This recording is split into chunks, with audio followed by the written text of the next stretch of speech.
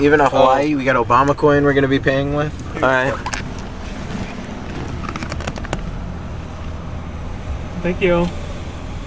It's quarters. They're all marked up. There's stickers.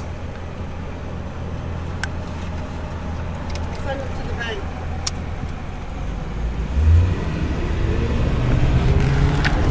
Wow, we'll send them to the bank. I think that's sort of like a, I don't know. She seemed very suspicious of the Obama coin. I was surprised to see that reaction. So what did you just hand her? Can you show me an example? Oh sure. Well, we, we just paid a toll, uh, the toll here on I-93 and Hooksett with Obama coin. Um, I have one here. Let me. Yeah, here's a full light. This is Obama coin. It has an image of President Barack Obama. It says "Change has come to America." And what's the back say? It's, uh, the back is sta- oh, it's backed by uh, U.S. currency. That's what's great about Obama coin is it has tangible value in Federal Reserve terms. That's probably something.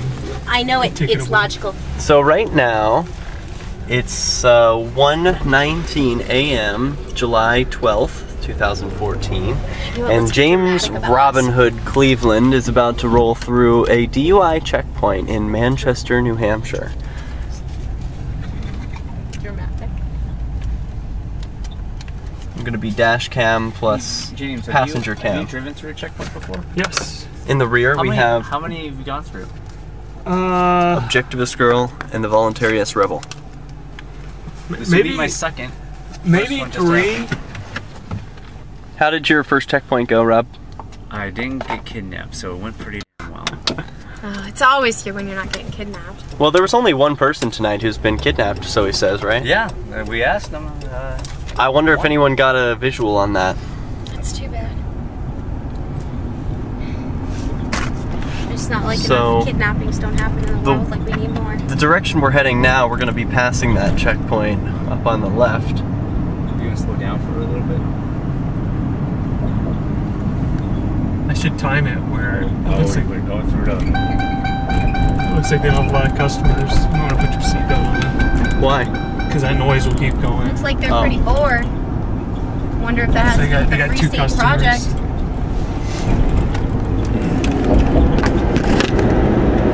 I wonder how they feel with us. I think a lot of them don't even believe, believe what they're doing is okay. No, I think most of them do. I mean, they tell us when they're going on their coffee break. And how can they honestly believe what they're doing is a good thing? So you want to get What do you mean they time? tell us? They're they actually have come over to the Free State Project um, and told them when they're going to coffee break so that we can go for a coffee break. Wait, what do you mean they tell the Free State Project Like they that? tell people that are out here holding signs Okay. that they're going for coffee and that they can take a break. And you believe them? Yeah, they actually are legitimately. We've checked on it. They legitimately go for a coffee break. First of all, oh, oh my gosh. You guys are all under arrest. Oh God, that's hilarious. I think what they're commenting on is that James's car is like this one. My It's a car. police cruiser. Should get a shot of the outside if I can. Want to be cop car? You better cool. Big bag.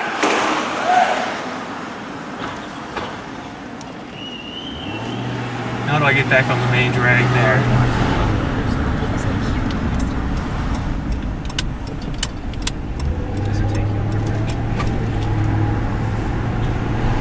So what are you feeling right now, James? You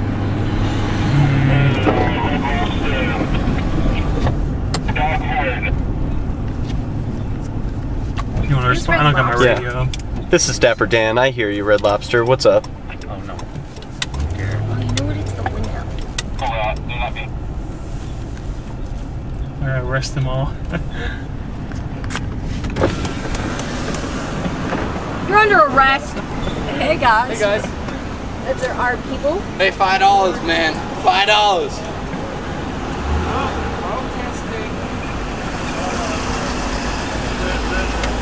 protesting. Yeah, they're riding around like stuff. Here, let's take a picture. This should happen. Yeah.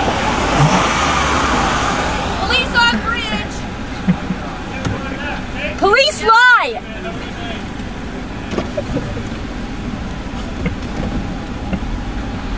Oh, look at your sign up there. It looks perfect. Look at that reflective oh, tape. Yeah.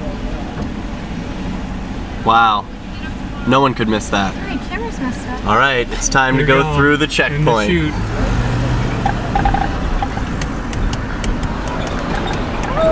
Be careful of the police. Can we put the windows up? Yep. Yeah.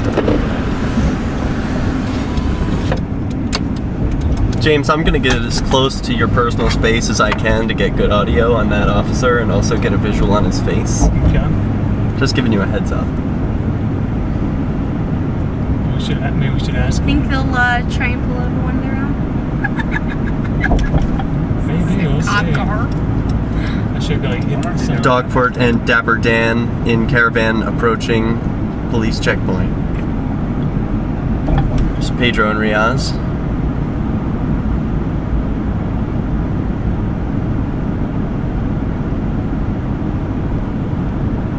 I love the reflective vest on the right there. Are they gonna wave me now? they're going to. Got nothing else better to do. Well, you're getting waved down. I know we took all their uh, all the fun out of it. We were just here just to save people.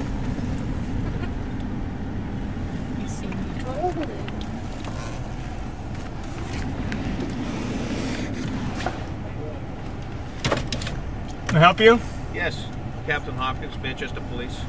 We're doing a sobriety checkpoint tonight. Do you have your driver's license with you, sir? If you unroll the window, they can probably film you. Uh, do you have your driver's license with you? Am I obligated to answer? I can't hear you.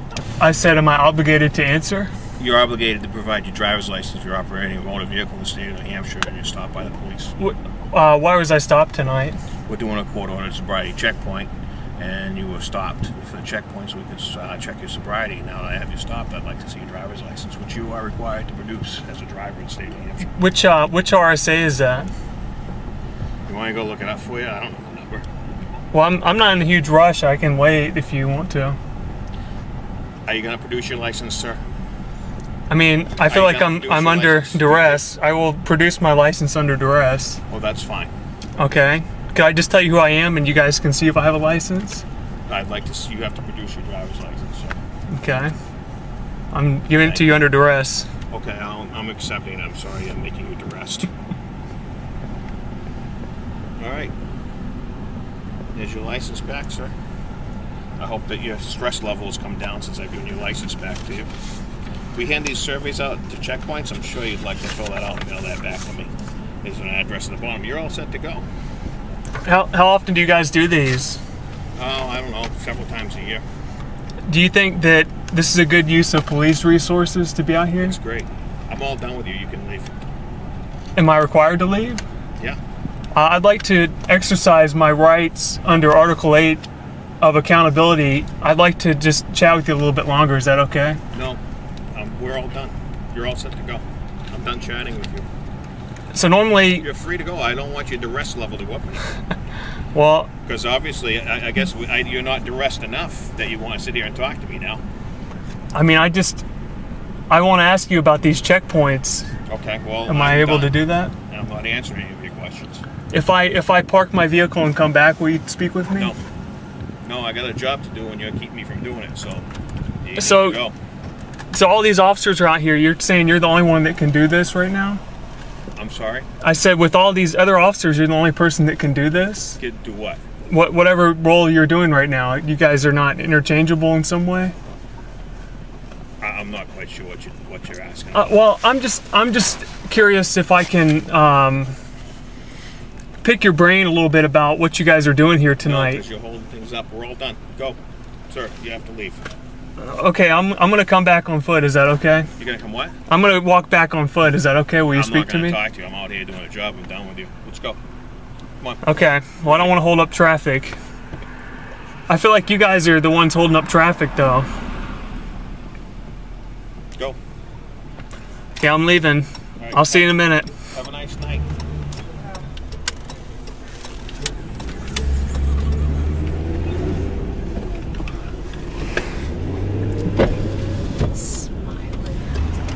How do you feel that went? It's ridiculous. I mean, so supposedly you have this right of accountability under the New Hampshire Constitution, where basically it says that all public officials and their servants and their agents, I don't remember the exact language, are at all times to be accountable to the people, basically.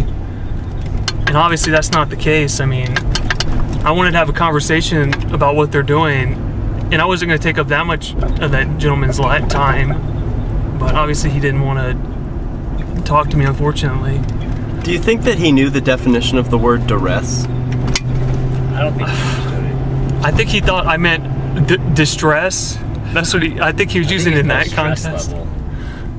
yeah It appeared to me he did not know the definition of the word duress. well to me duress means i'm being forced to do something with a under threat basically so i'm duress to do it you know i don't know what he thinks it means Can you give a synonym for what you meant by duress?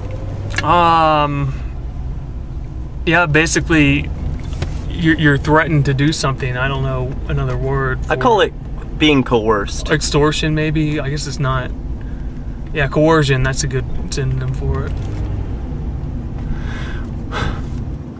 Where are you heading now? i guess i'm gonna go park and try to talk to the guy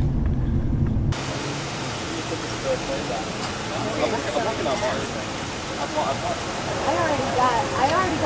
that Marilyn Monroe location. Hey, look. Oh, never mind. That cop just put on his lights and then went through the intersection. Oh, and then turned them off. Yeah. I want to build some muscle.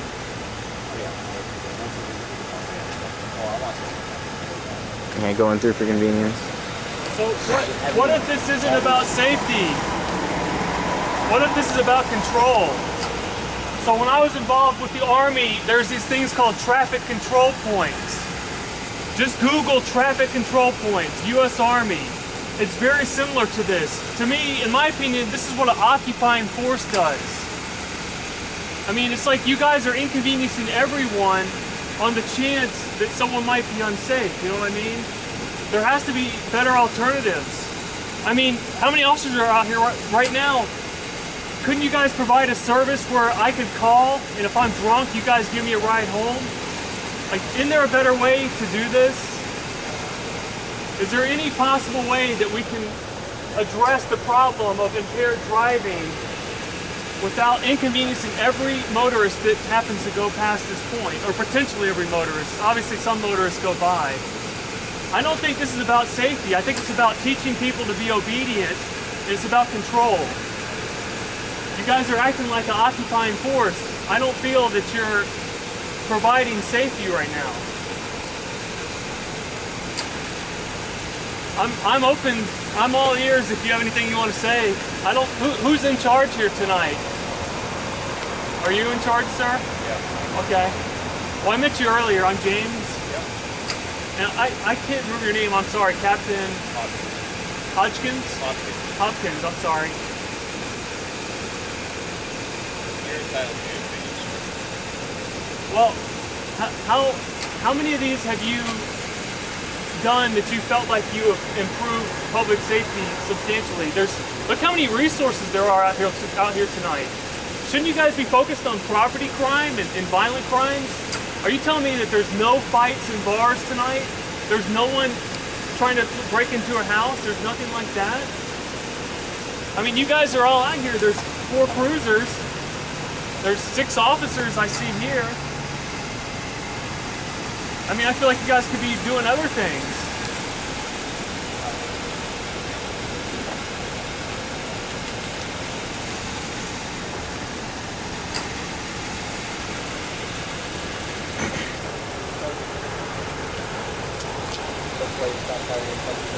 Well, I guess it's not, it's not emergency. And I don't know who's in the car. So might, might kind of be ups, disturbing if someone's on the side of the road. So this man seems relatively friendly. Uh, do you feel like your message is producing? I mean, I don't know. I just, my goal, I, I think we really have to think about, we're, we're becoming a police state. You know, we're, I say we are, the, the government is becoming a police state. So, I, I think it's a real issue and, and something people really need to really consider what's going on here. And it's just amazing that people accept it, you know. It, it seems like every year we've just got about five people at the checkpoint. The police continue to do these things. Maybe seven. I mean, obviously, I think impaired driving is an issue, but there has to be other ways to solve it. I think you could educate people instead of potentially enforcing against people. Don't get me wrong, I don't want anyone to get hurt because someone else is impaired driving. That's not a good thing.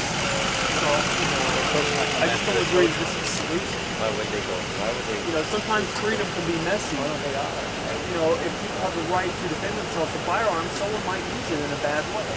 If you have the right to consume alcoholic beverages, someone may be irresponsible and drive their car after they consume too much.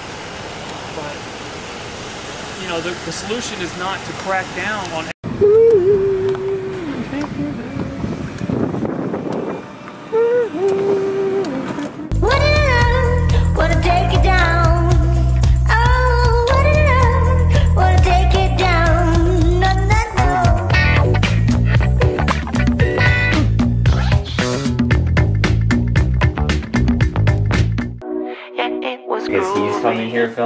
filming, and now filming us, filming each other, and you're just sitting there. And why are we doing activism such as filming each other? What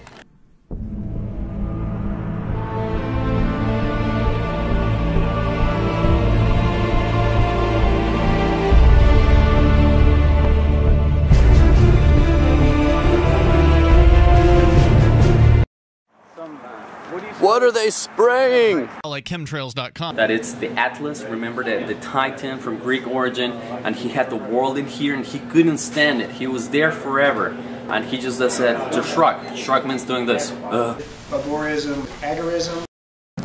And question crickets. Well, I think crickets are a wonderful little animal, but they usually signify the end of a talk, and so I will stop talking now. Wait, first off, what the f are you filming in portrait instead of landscape? Think of the Dogecoin revolution. I've seen it just about everywhere here in PorcFest, and it looks like it's going to be the next big thing. What do you think about that? Well, I'm glad to see that Doge is surpassing Bitcoin. I think it's good to have a concept-driven cryptocurrency as opposed to one that's just about bits. I mean, I'd rather focus on Doges than bits. But um, my personal opinion is that hard currency definitely has its place when you're walking around being able to whip out an actual piece of currency. So that's why I carry with me Obama coin. And Obama coin is what I think is a way of the future. But there's no Doges on those. Could No. you could you do a Dogebama coin? I suppose there could be like a uh, maybe like a overlaying of the images, the, the president and, and the, the Doge in chief. Yeah. Ron Paul is the message. Yes. We'd like to invite you to visit freekeene.com.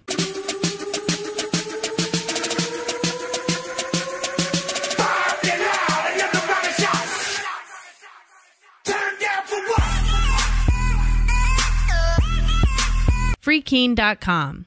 I should be in Keene, New Hampshire with the Free Staters.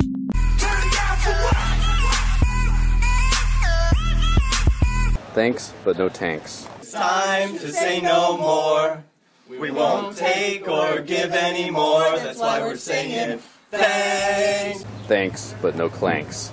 Dogecoin, Dogecoin, Dogecoin, Dogecoin, Dogecoin, Dogecoin.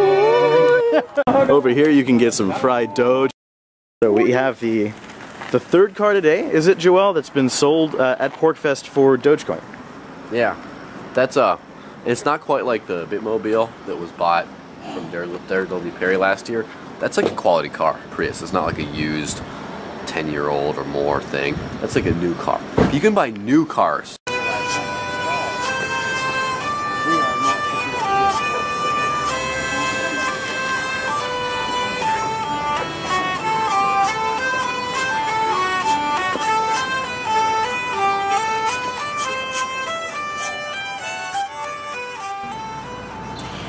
Hi guys and welcome to Objectivist Girl. So many of you guys heard me on Free Talk Live on Thursday.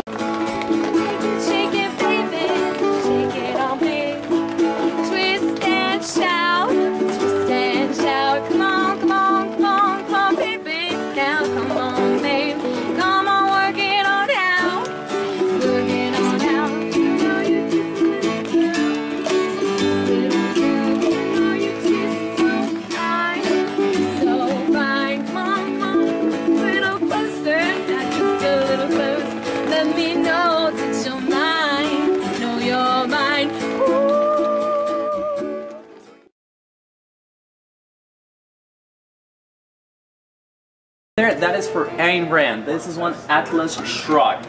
Uh.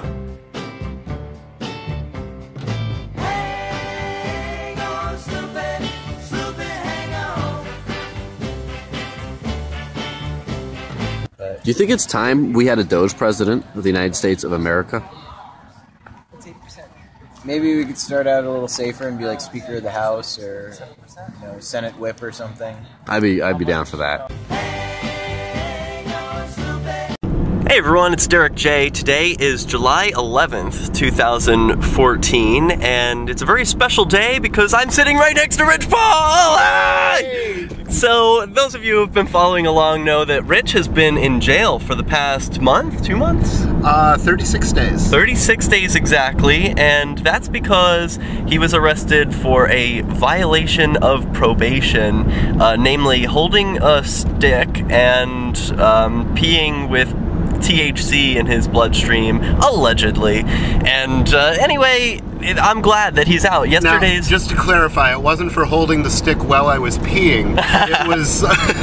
right, right. It, it, was it was picking up a stick and stopping a riot, but it was a different stick. Important distinction, yes, Yes. Rich. But uh, how do you feel now that you're out? How did you feel yesterday's uh, bail hearing went? It was supposed to be a violation of probation hearing. We were going to see the whole trial happen, or not a trial, it's a hearing. We watched the video of the alleged violation, and then bail was set for $500 plus some conditions. You want to talk Yeah, about what it was happened? like they were having a fire sale on Rich Paul's. I mean, before that, they wouldn't let you have one at any price, and then they're letting them go for 500 bucks, which is a bargain. Um, and Were uh, you surprised you know. about yesterday? Uh, no, I, I kind of expected it. Um, especially, I was so happy that we got the video in because really, the in terms of my criminal activity on video, there's no there there. There's there's no criminal activity by me on that uh, on that video. I mean, I picked up a stick and stopped a riot, and I'm not saying that they should give me a medal, but you know, I, I wouldn't vote against it. But uh, you know, so you know, once the video was seen, I was not surprised, although I was relieved that they set bond on me. And apparently, there was a sidebar conversation between the prosecutor and the judge and my attorney, in which the judge pretty much said, I didn't really see him do anything wrong on that video, and I'm not sure what we're doing here. Um, Yeah, I was that's surprised. a paraphrase. The judge didn't seem to be upset about it at all. Uh, I was getting a close up of the judge's reactions while he was watching the video itself. So you can find that. Uh, it's on this channel, Derrick J Live. And also, we're continuing to fundraise for Rich because this isn't over. He's got like fines and stuff to pay, which is totally unjust because they're making him pay fines in the amount of like $3,500. Anyway, we're trying to raise that money because it's got to be paid to the state no matter what, or else Rich is going to sit in a cage for even longer. So you can donate at gofundme.com slash gorichpaul. There's even a Bitcoin donation, so you can send in your Bitcoin from far away without supporting the king. Yeah. and hey, if you uh, if you donate hundred dollars or more, you can win a date with Rich Paul. How's that, ladies or, fellas? You know, I'll rub your feet or something. That's a good deal. So it's gofundme.com slash gorichpaul. Peace. Hey, what's going on? Stop the bike. Police confiscating cameras. It doesn't happen that often in New Hampshire. But when it does, I think it deserves extra special attention. A search warrant to seize all your recording devices, cell phone, so you can go ahead and shut that off. The most scandalous video is the one that is not allowed to be shown to the public, or which is delayed in being shown to the public, but because authorities seized it. Well, something like this apparently happened in Keene. How are you? Good. Hey, glad Can't to hear complain. To this man, Robin Hood himself, James Cleveland, also known as youtube.com slash lightspeedliberty. Videotape all that y'all want. I take your video camera. Freaking um, losers. You will not touch anything. Shut your ass up. Shut the Touch anything. Shut the Alright? You will not touch But I'll talk to you any kind of way I want. you, ain't got no respect for nobody around you, so why should I have respect for your dumb ass? You from Washington, Go get a, no, I'm not from Boston. I'm from Washington, D.C. Now, there have been a lot of scandalous things that have happened to the Free Keene activists and their allies. A man apparently having his neck broken by an assault. A man apparently sentenced to 60 days in jail for speaking to a government official. Another one thrown in jail for an extended period of time because he, without hurting anyone, defended someone from an assault. Yeah, because you videotaped me, man. You ain't got no. As we see more and more evidence that Keene really is what I've been calling it New Hampshire's North Korea, well, the fact is, some of it we're just not seeing. And that's the part that mu- must get the most attention. We can't do, we, we, we have to take action that punishes the police for seizing video. Otherwise, they'll do it more. Governor, your state police have seized the recording equipment of an independent reporter who has interviewed you out in Keene. Do you even know that it happened? And you, should you be working for a governor that doesn't answer questions from New Hampshire's number two YouTube channel? This goes back to, I guess it's a kind of thinking that I had all the way back in the mid 80s. Uh, I once gave a presentation. I was on. I was trying to get a scholarship. I guess around 1986, uh, and I went before a, a board of newspapermen in Oklahoma. I, I, you know, I was a University of Oklahoma student, journalism. And I wrote an essay. I made a point that my big concern at that time was that the mainstream national media was ignoring uh, abuses that happened inside the Soviet bloc. And their excuse for ignoring these abuses was that, well, we're not allowed to film there, so we're just not covering stuff there. They were essentially rewarding Yuri Andropov and Nicolae Ceausescu for their bans on cameras. They were tamely complying and focusing their attention on abuses in South Africa, where a less totalitarian government was letting the press in. This was, I thought, the great journalistic abuse of our time in the 80s, and I still feel that I was right about that as a college student. You have every right. So right. shut to- off the, f- shut it off, or you're gonna be coming with me. Well, it's the same thing now inside the United States. The, the greatest abuse is when a camera is seized, video is suppressed. My suspicion is that in this case, uh, you know, they'll probably allow the video to be released. It may already be back in James Cleveland's hand, you know, after they took the video away from him. It's unlikely they'll actually delete the video, but Stop Stealing cameras! Stop stealing cameras! Before this peaceable revolution has played out, there will be an incident where they seize someone's video and it never sees the light of day.